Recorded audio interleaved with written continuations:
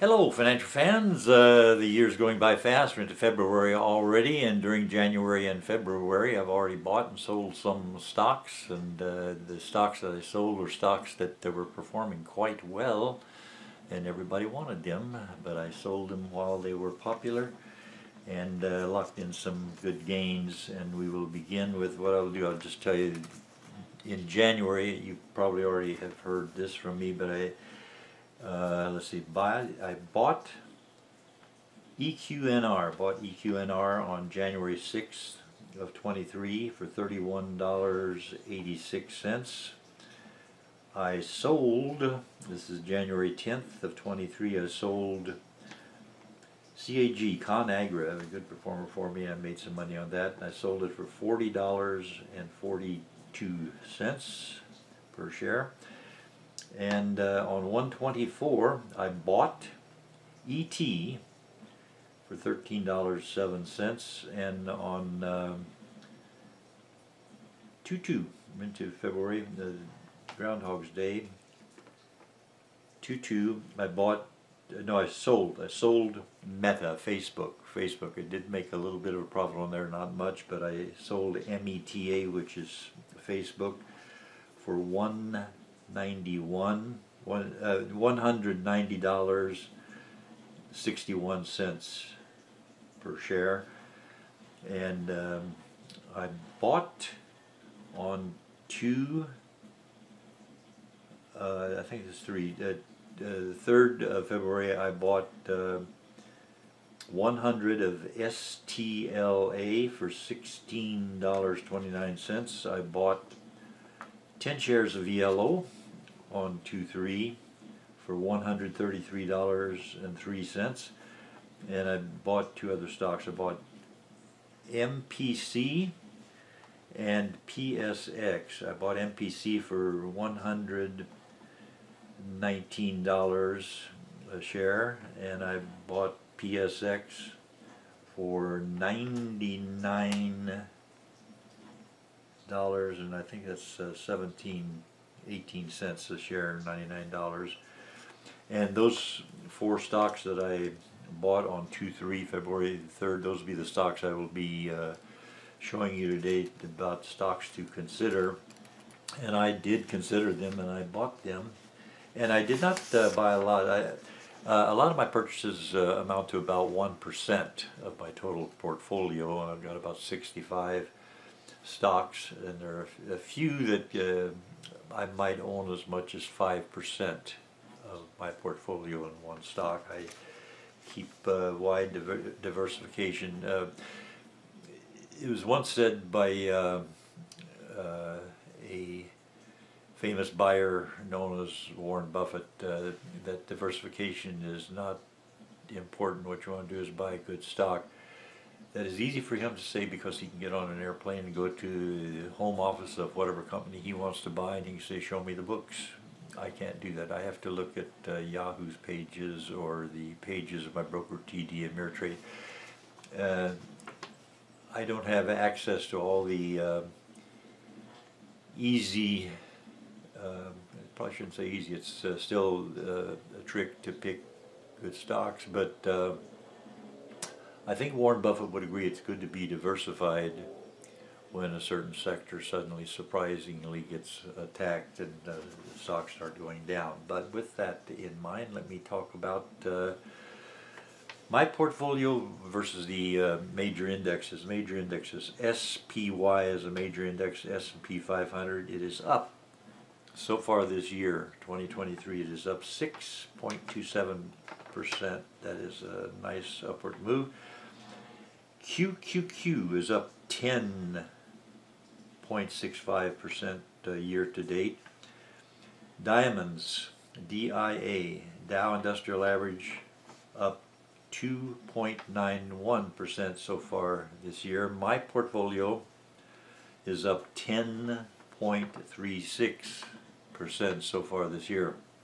So the uh, NASDAQ is beating me with 10.65 percent uh, increase year-to-date value, and my uh, portfolio has a uh, gains thus far of 10.36%. Now, let's uh, take a look at some stocks here to consider. These are the stocks I bought, and I do own these stocks, and uh, we'll take a look at, uh, to begin with, we'll look at MPC. MPC is Marathon Petroleum Corporation. We see that it closed at $118.20 per share on the last uh, trading day, Friday, and it was down 1.42%. And after hours, it's uh, unchanged from that closing price. Column on the left, two thirds of the way down, the 52 week range for MPC. $72.75 per share was the low price for uh, the past 52 weeks, and $136.46 was the high for that uh, stock. The average volume, almost 4 million shares trade every day, and this stock is considered to be undervalued. Middle column, third item down, PE ratio 4.22. That's a nice low number. We like low numbers for the PE ratio. The earnings per share, $27.98. Uh, that's a big uh, earnings number for a stock that's selling for $118.20. The forward dividend yield, small, 2.44% uh, dividend, and the one-year target estimate for MPC, $143.21 per share. Next, we look at another oil giant here, Phillips 66 PSX. PSX is the symbol, and it closed on Friday. Tiny uh, movement there. It uh, closed at $98.81. Later, it went up uh, 19 cents to $99 even per share uh, this time after hours. The 52 week range for PSX $73.85 was the low and $113.53 was the high for the past 52 weeks. Average volume about 3,200,000 shares trade each day. And this stock is considered to be undervalued. Middle column PE ratio, third item down, 4.25. And the uh, forward dividend yield, 3.96, about 4% uh, yield at this time. And the one-year target estimate for uh, PSX, the one-year estimate, $123.64 per share. This uh, another oil stock here. And next we look at Stellantis. S-T-L-A. S-T-L-A. that is a symbol and uh, closed at $16.33. Later went down a little bit more to $16.26 per share uh, currently. And the 52 week range, $11.37 was the low and $19.86 was the high for the past 52 weeks. The average volume uh, 5,342,000 shares trade each day, and this stock is considered to be undervalued. The PE ratio for STLA 3.10 looks pretty nice. I liked it. I bought the stock. Forward dividend and yield 6.75 percent, and they get that from a dollar nine cents. Um, even though they had earnings per share of five dollars and twenty-seven cents, they uh, won't have much trouble if uh, that continues. Uh, if they want to pay a dividend of 6.79 uh, percent, the one-year target estimate nineteen dollars and the uh, Next and last stock we'll look at today, Valero Energy Corporation, energy again.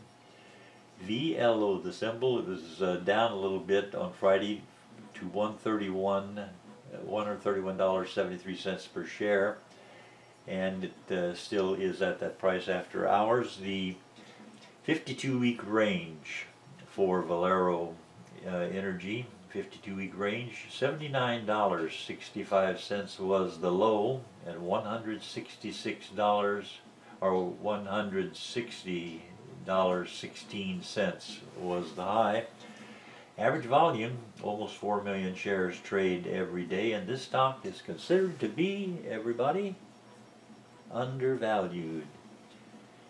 PE ratio, 4.54.